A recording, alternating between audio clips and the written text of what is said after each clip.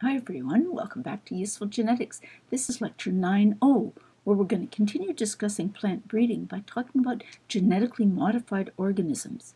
We'll talk about the steps in producing a genetically modified plant, the development and the testing, and then the bureaucracy, the application for approval and the waiting, and we'll talk about the public suspicion as well. So the steps in producing a plant by genetic modification by controlled in vitro engineering are very different from those from a conventional plant breeding program. Again, you start by deciding well, what plant, what species do you want to change, and what phenotype do you want to change. But then the next step is to decide well, what DNA am I going to insert in this plant to bring about my phenotypic change? Rarely is it a deletion. Usually there's something you want to insert.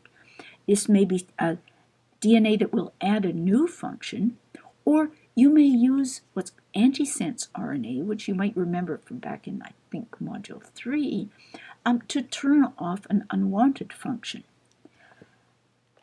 Sometimes you will find the gene in another species, or very often now, you'll have it synthesized. Um, last year, the cheapest price was 28 cents a base pair. This year, we're down to 23 cents a base pair. This means that even a moderately large gene, one that might contain um, a thousand amino acids, will not cost more than a thousand dollars. That's cheap. The next step is you have to choose your recipient strain. In this case, you're picking one strain the genetic background matters. You want that strain to have particular genetic properties, but you don't have to think at all about genetic variation or about heritability because you're going to put in the gene that you want.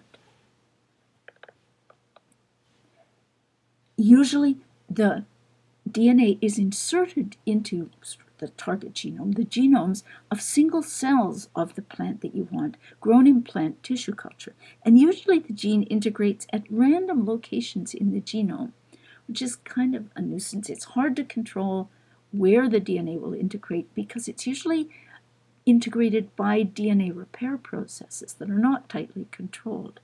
So you have to check did the DNA that you put into the cell actually integrate into the genome?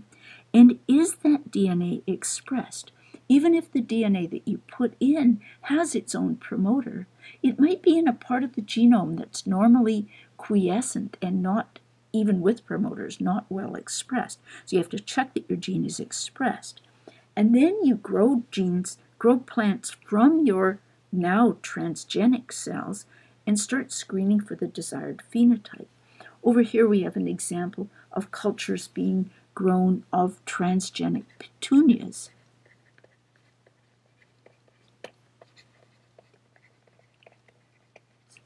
in which the gene for the purple pigment is being selectively shut off in some parts of the flower by, trans, by um, antisense RNA.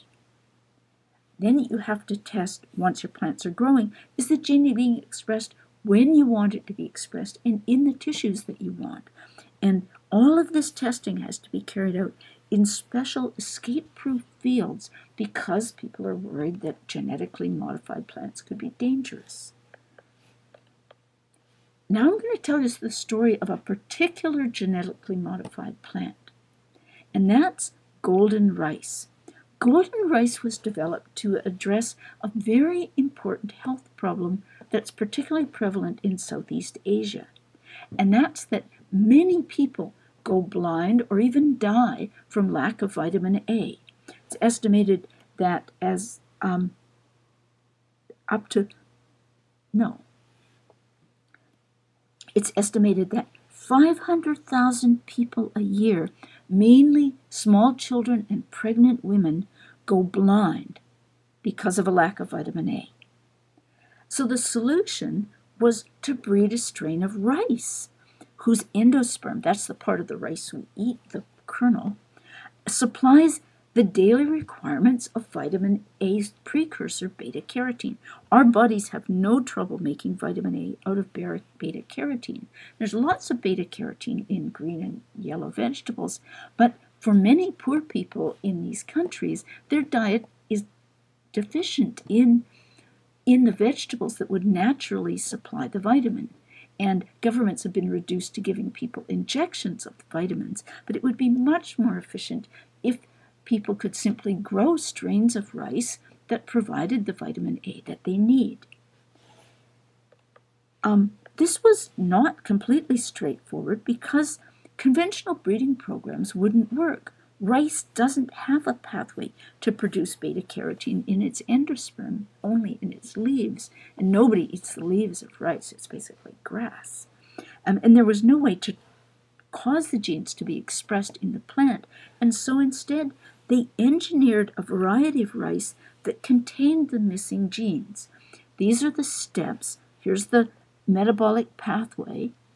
First step catalyzed by a gene called phyto, protein called phytoene synthase, which was brought in first from daffodils and then from maize, corn to Americans. Um, and the second two steps catalyzed by a different gene, and this gene was most efficiently brought in from a soil bacterium strain called Erwinia. So they created the strain of rice that produced vitamin A, and because beta carotene is yellow, they called the rice golden rice.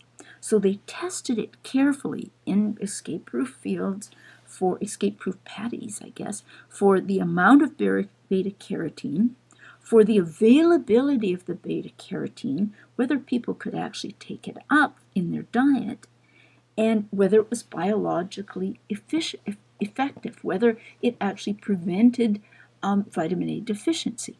And they tested to make sure that these artificial, unnatural genes did not cause immune reactions, allergic reactions in people who ate it.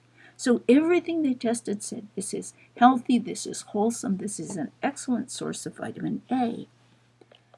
So then they applied for approval.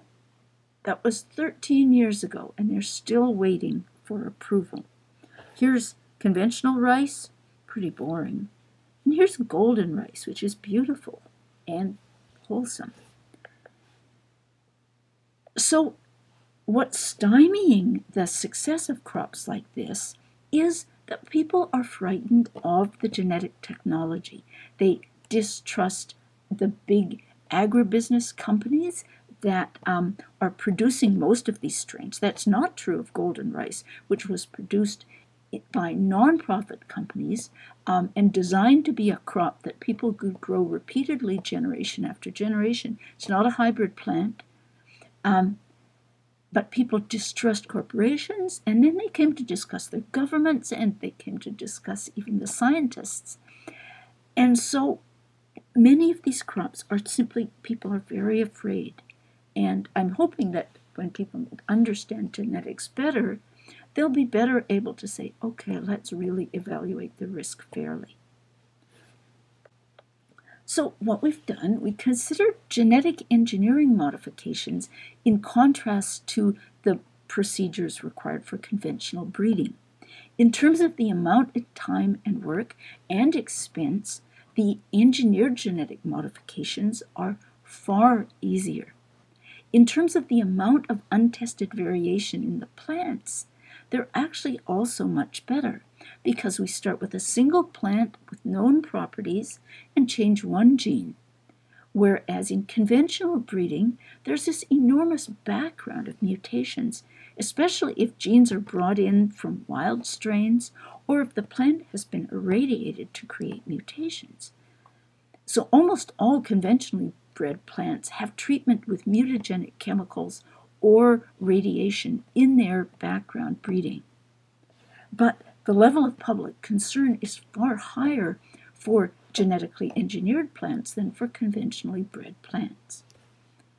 Coming up next is Module 10, where we're going to talk about changes in chromosome structure and number, of which my favorite example is the breeding of strawberries from the tiny little wild wood strawberries to the monstrous strawberries that we see in the supermarket today. And that's due to changes primarily in chromosome number.